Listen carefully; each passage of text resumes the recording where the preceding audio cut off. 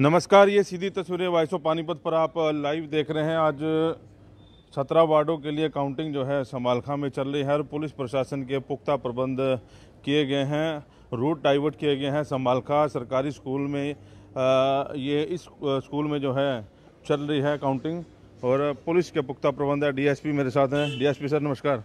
हाँ जी। Sir route divert किया हुआ है? हाँ हाँ बिल्कुल रूट बता दो पब्लिक को क्या क्या कैसे कहाँ कहाँ जाना है। पब्लिक जिसको बापोली सनोली जाना है वो पुल के साथ में होता है और आगे टी पॉइंट है उस रास्ते से निकले। जी।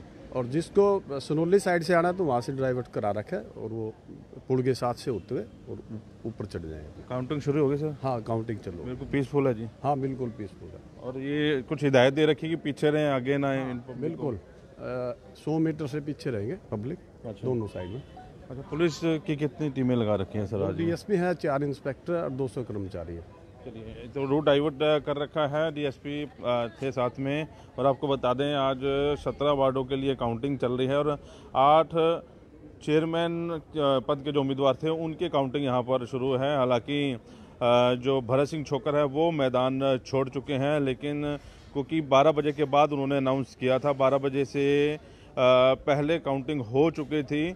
पब्लिक तक पहुँचते पहुँचते ये आवाज़ जो थी, दो तीन बजे तक पहुँची, लेकिन उससे पहले लोग जो थे भरत सिंह छोकर के समर्थन में वोट डाल चुके थे। अब आपको बता दें कि मुख्य मुकाबला जो चल रहा है तीन जनों में मुकाबला चल रहा है। एक बीजेपी के अशोक कुचल हैं और जेजेपी समर्थित, जिनका एसी का निशान था, अशोक गुप्ता और साथ में संजय बैनीवाल, जिनका कुर्सी का निशान था। इन तीनों में मुख्य मुकाबला जो है, चल रहा है। थोड़ी देर में रिज़ल्ट क्लियर होना शुरू हो जाएगा। पहले राउंड की काउंटिंग जो है, शुरू होना हो चुकी है तो यहाँ पर आप देख सकते हैं पुलिस और खासतौर पर महिला पुलिस जो है यहाँ पर तैनात की गई है। वीडियो को साथ के साथ शेयर ज़रूर करें। पानीपत के संभालखा विधानसभा से आप ये सीधी तस्वीरें वॉइस ऑफ़ पानीपत पर देख रहे हैं। सुबह की ये तस्वीरें हैं और आपको इधर से बता दें, इधर फायर ब्रिगेड का इंतज़ाम पूरी तरह कर रखा है और जहाँ तक ये नज़र जा रही है, वहाँ पर भी जो कैंडिडेट के समर्थक हैं या और भी पब्लिक है उनको रोका गया है। अभी डीएसपी प्रदीप कुमार बता रहे थे कि कैसे जो है रूट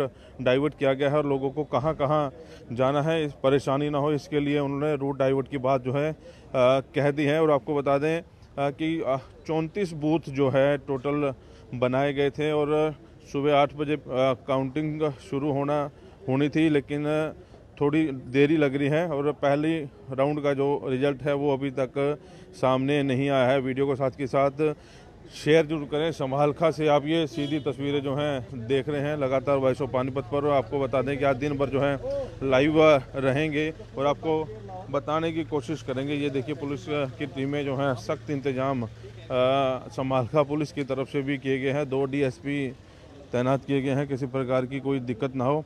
और 10 बजे तक तस्वीर क्लियर होना शुरू हो जाएगी। विक्की से समालखा की जनता ने चेयरमैन बनाया है और कौन नगर पालिका की कुर्सी पर बैठेगा? तो तस्वीरों को साथ के साथ ज़रूर करते रहे। यहाँ इस हॉल में भी जो है काउंटिंग होनी है। गवर्नमेंट मॉडल सीनियर स्कूल है ये, संभालखा का यहाँ पर काउंटिंग चल रही है और अंदर की थोड़ी सी तस्वीरें यहाँ से क्लियर करने की कोशिश करेंगे। यहाँ पर पुलिस के पुख्ता प्रबंध हैं और जैसा कि संभालखा से जिन लोगों ने बाहर जाना है या शायद संभालखा की साइड आना है, अंदर बापरा रोड पर उनके लिए रूट डाइवर्ट कर दिया गया है। पुलिस की टीम तैनात है और यहीं पर जो है थोड़ी देर में पहले राउंड का रिज़ल्ट आना शुरू हो जाएगा। तस्वीरों को साथ के साथ शेयर ज़रूर करते रहें। संभालखा से आप ये पहली तस्वीरें वाइस ऑफ़ पानीपत पर देख रहे हैं। कैंडिडेटों ने फुल मेहनत कर रखी थी। हालाँकि जो भरत सिंह छोकर हैं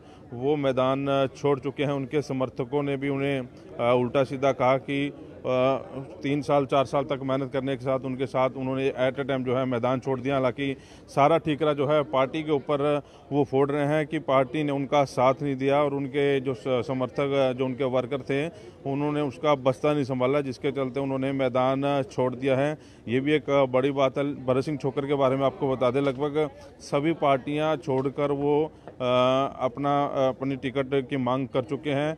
सबसे बाद में उन्होंने आप पर भरोसा जताया था और आपने चेयरमैन पद के उम्मीदवार की टिकट जो है उन्हें दी थी। दोनों ने एक दूसरे पर भरोसा जताया था, लेकिन एन वक्त पर भरत सिंह छोकर जो संजय बेनीवाल के खिलाफ बोल रहे थे, उन्होंने मैदान जो है छोड़ दिया है। अभी भविष्य के गर्भ में है, कौन सी पार्टी उनके ऊपर विश्वास करेगी या भरत सिंह छोकर जो है घर पर बैठेंगे? उधर संजय बेनीवाल भी जो है मज़बूत प्रत्याशी समालखा से हैं और साथ में ही अशोक उच्चल जो बीजेपी के प्रत्याशी बनाए गए थे, वो भी मज़बूत स्थिति में समालखा में लग रहे हैं। हालाँकि जो जेजेपी के अशोक गुप्ता हैं, वो थोड़े से लास्ट में जाते जाते कमज़ोर हो गए, लेकिन त्रिकोणीय मुकाबला यहाँ पर चल रहा है त्रिकोणीय मुकाबले में देखना होगा कि कौन यहाँ पर बाजी मारेगा। आज आठ चेयरमैनशिप और चौंतीस बूथों पर जो है जो काउंटिंग है, वो यहाँ पर शुरू हो गई है। पहले राउंड की काउंटिंग का रिज़ल्ट अब से कुछ ही देर बाद यहाँ पर होगा। तो हम लोग दोबारा इस मामले में लाइव जुड़ेंगे। तो फ़िलहाल ये बता दें कि संवालखा के सरकारी स्कूल में काउंटिंग होना शुरू हो चुकी है। पहले राउंड का रिज़ल्ट थोड़ी देर में आना शुरू हो जाएगा। जैसे ही रिज़ल्ट आएगा तो हम लोग दोबारा लाइव होंगे। नमस्कार।